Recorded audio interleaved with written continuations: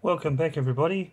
Just to add to my um, video that I put up yesterday with some BMWs and I actually managed to pick up a couple more um, BMWs tonight. Both the same model but just in two different um, colour schemes. Uh, this is the BMW M4. Uh, the one you're looking at is the safety car from the Gran Turismo series.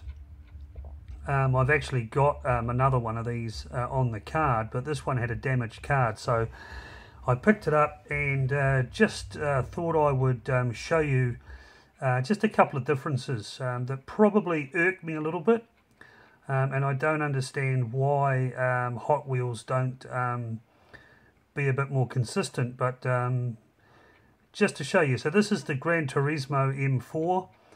Uh, very nice car, nice colour scheme in white with the you know the safety decals on it, the safety car tampos. It's got the Gran Turismo um, logo on there, and obviously the um, the BMW Motorsport colours, and that's a pretty cool looking car. There's no doubt about it. It's a really nice looking casting. So that's the Gran Turismo, which is part of an eight car set.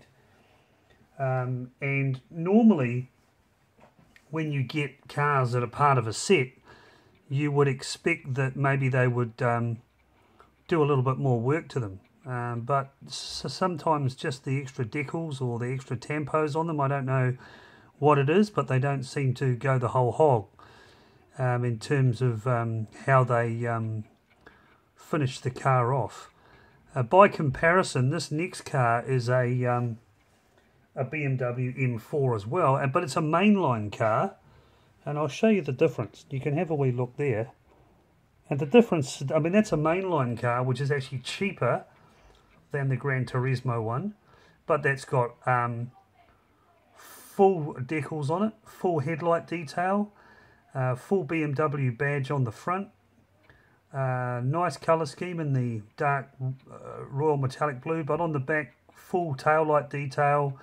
Um, with the motorsport and the um, the BMW badges. And if you actually put these under a magnifying glass, that BMW badge is actual is actually an exact replica of the badge.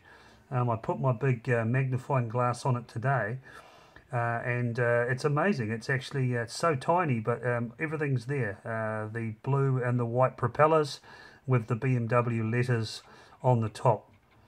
So that's, uh, I just thought I'd bring you that just to show you um, uh, the differences between models um, or, you know, ranges, I suppose you could say. One's a mainline car that you're looking at now, and the first one was part of an eight car set.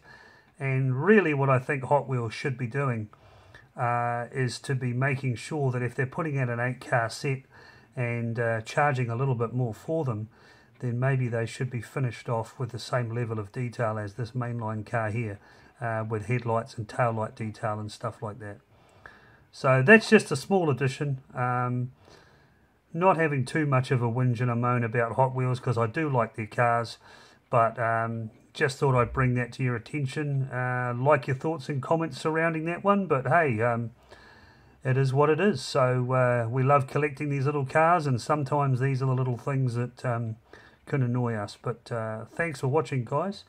And uh, I will be putting up a video soon on all my bone shakers. So um, enjoy the video and like and subscribe if you could. That'll be great. Um, any comments, I'm more than happy to answer any questions.